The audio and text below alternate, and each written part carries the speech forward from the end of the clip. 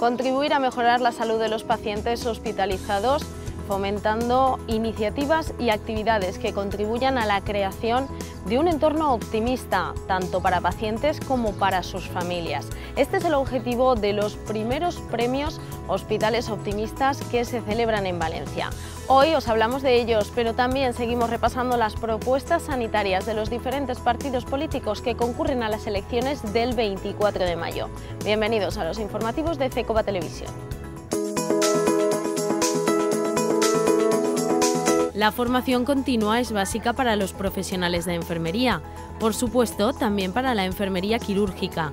La Asociación de la Comunidad Valenciana ha celebrado un curso sobre la actualización frente a una parada cardiorrespiratoria en quirófano. Clara ha dedicado toda una vida a ser matrona. Recientemente ha recibido un homenaje y hemos estado con ella para conocer su opinión sobre la evolución de la profesión. El Lyricus es el barco al que nos invita a navegar el enfermero y poeta José Siles. Con él nos adentramos en su poemario, recientemente presentado ante la Sociedad Alicantina. Los primeros premios nacionales Hospital Optimista se han realizado en Valencia y han contado con más de 130 candidaturas inscritas.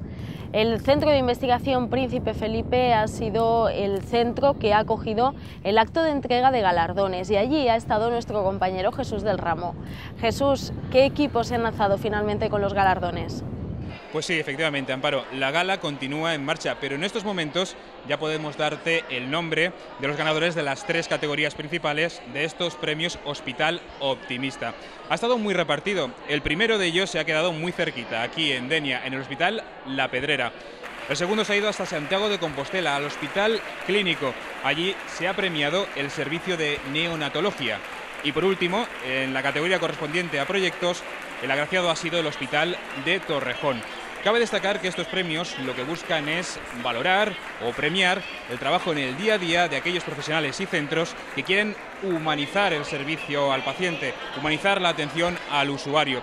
Y en este objetivo cubre un papel muy importante, fundamental, la enfermería. Es algo que nos han reconocido los propios premiados, que, como decimos, reconocen que forma un pilar básico en el trabajo del día a día. Gracias Jesús y enhorabuena también a todos los equipos premiados. Antes de continuar, hablamos del concurso de ideas Nueva Imagen para la profesión enfermera puesto en marcha por CECOBA en colaboración con la Consellería de Sanidad. Os recordamos que tenéis de tiempo hasta el próximo 8 de mayo para presentar todas las propuestas. El objetivo es diseñar un icono que pueda identificar de forma adecuada la profesión de enfermería y a sus profesionales, los enfermeros y enfermeras, para evitar así el empleo de iconos trasnochados y no identificativos de la profesión enfermera, y ofrecérselo a la Consellería de Sanidad para que sea usado en su red telemática. El estrés o la falta de comunicación con los compañeros afectan a cualquier profesional sanitario. Sin embargo, este hecho puede ser letal en quirófano. La Asociación de Enfermería Quirúrgica de la Comunidad Valenciana realiza jornadas de refuerzo, en este caso para atender temas como la parada cardiorrespiratoria intraoperatoria. Se aborda, por un lado, desde una vertiente práctica, recordando el instrumental que entra en juego, además de incidir en aquellas características que la hacen especialmente compleja. Los ponentes han repasado situaciones y problemas que pueden darse y han incidido en la importancia de la coordinación de todo el equipo que participa. La enfermería quirúrgica está evolucionando de forma exponencial, no tiene absolutamente nada que ver lo que se hacía hace 20 años en un quirófano lo que se hace hoy. Y como la enfermería no esté completamente actualizada, desde luego no va a ningún sitio. Hay tres diferencias. Una es el procedimiento quirúrgico, es decir, por someter una cirugía vamos a tener un riesgo de parada. La anestesia, cosa que no hay en una sala, por ejemplo, o incluso el propio cirujano puede crear una patología en el paciente en la intervención y crear una parada controlada. Actuamos siempre coordinados. De ahí que yo intente trasladar a quien no está acostumbrado a estas cosas esa necesidad de que compartamos la, cabina del avión. ¿eh? Pues, no es cuestión de un capitán del avión, son una tripulación completa la que tiene que luchar para conseguir el éxito. El Consejo Autonómico de Enfermería, CECOBA, respalda la petición conjunta realizada por la Sociedad Española de Cuidados Paliativos, SECPAL, y la Asociación Española de Enfermería en Cuidados Paliativos, AECPAL, sobre la creación de una acreditación profesional en esta materia. El CECOVA destacó la importancia del papel de los profesionales de enfermería en los cuidados paliativos, que realizan una atención integral de las personas a lo largo de todas las fases de la enfermedad, desde la prevención y el diagnóstico hasta el tratamiento de los síntomas, comprendiendo también los cuidados del final de la vida y respaldó la iniciativa para que se determine un sistema de acreditación y reconocimiento del perfil profesional para enfermería, medicina, psicología y trabajo social.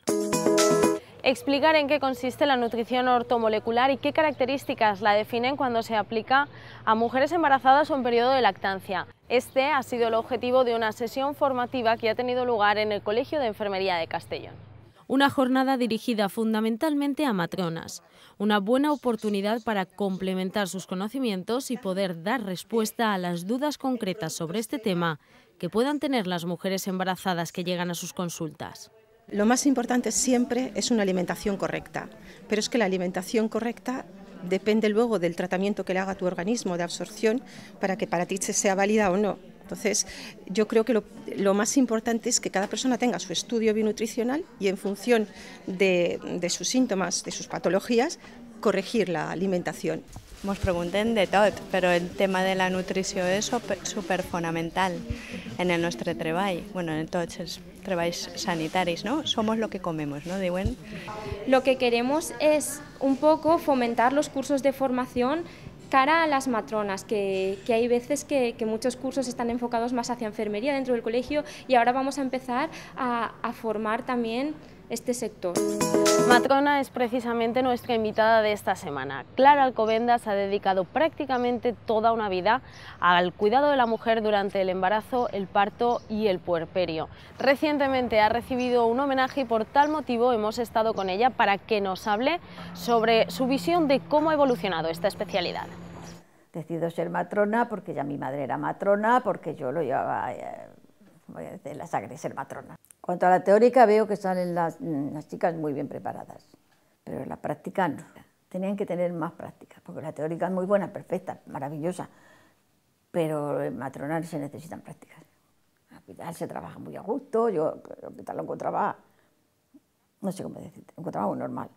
Trabajar en el hospital Hombre, te cansas, pero siempre tiene el médico que le echas una mano, eh, no sé, la compañera que, comentas qué te parece o, que cómo ves. Cuando vas de puerta en puerta eh, y entras en una casa, eh, ya es como que formas parte de la familia.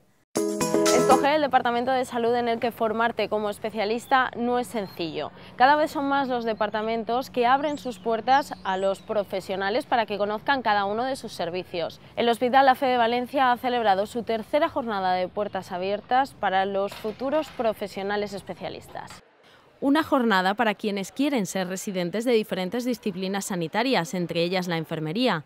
Aunque este último año han habido cambios y los departamentos han asumido las unidades docentes.